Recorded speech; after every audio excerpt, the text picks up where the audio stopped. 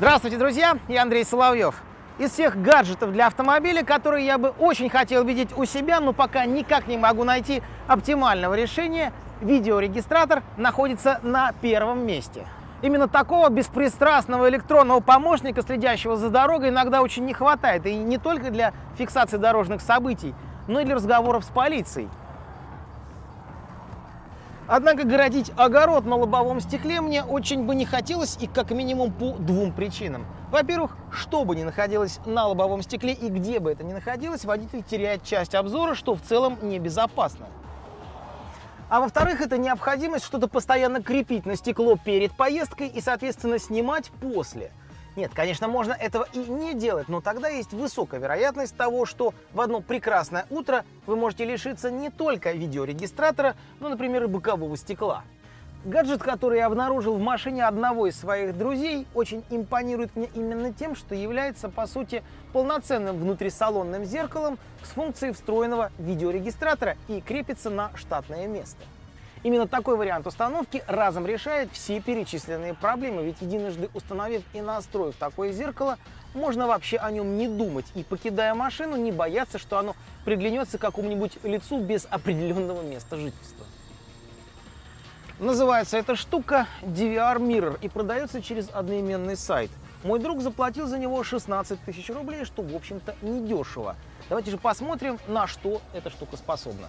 Как я уже говорил, устройство представляет из себя внутрисалонное зеркало, в левой части которого расположен дисплей с диагональю 4,3 дюйма и разрешением в 400 на 234 точки. Примерно такое же впечатление производит экран автомобильного навигатора аналогичной диагонали. И хотя разрешение не очень высокое, ничего сверхъестественного от него и не требуется. По сути, задача такого экрана – сделать первоначальные настройки, правильно скадрировать картинку и убедиться в том, что началась запись. Если же на дороге, не дай бог, что-то произойдет, с помощью этого экрана можно быстро посмотреть, собственно, что произошло, кто прав, а кто виноват. Но детально рассматривать картинку лучше всего вытащив карточку microSD и запустив изображение на большом компьютере. С фронтальной части гаджета расположен объектив основной камеры, вынесенный на несколько сантиметров на поворотном кронштейне. Сделано это для того, чтобы водитель после того, как настроит зеркало под себя, смог направить объектив камеры туда, куда нужно. Кроме этого, постоянно ведется запись звука того, что происходит в салоне, а справа от объектива расположена решетка динамика. Еще одной интересной фишкой устройства является наличие дополнительного видеовхода для подключения второй камеры для скрытой установки внутри салона, например, для записи автоинспектора, стоящего напротив окна, или того, что происходит на заднем сидении.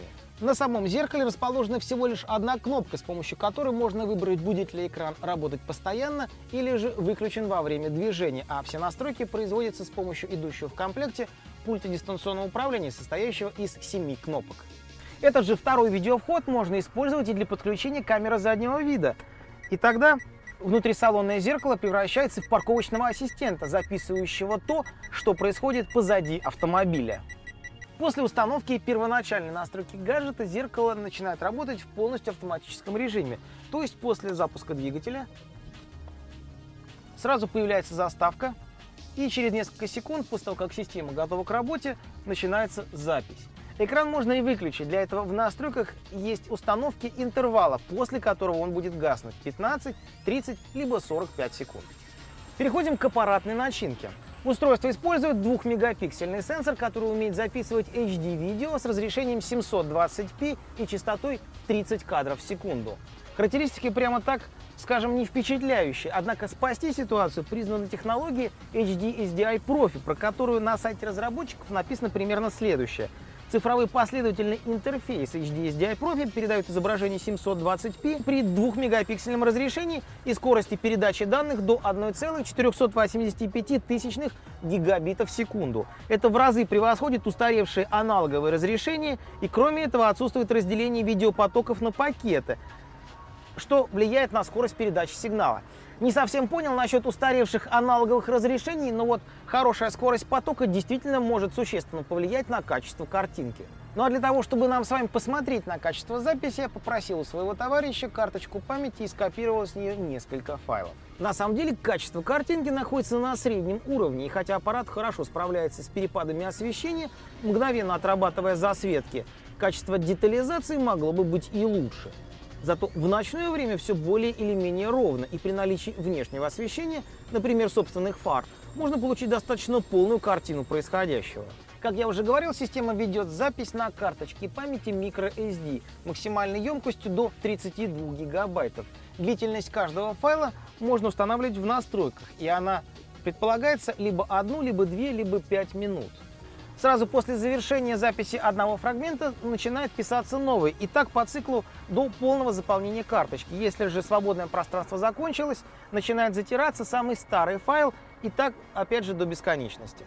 Также стоит отметить, что записываться картинка может одновременно с двух камер, при этом запись идет в два независимых файла – также удобно то, что информацию с карточки можно вытащить и сразу же перекинуть на компьютер без дополнительной конвертации и без установки какого-либо специального программного обеспечения.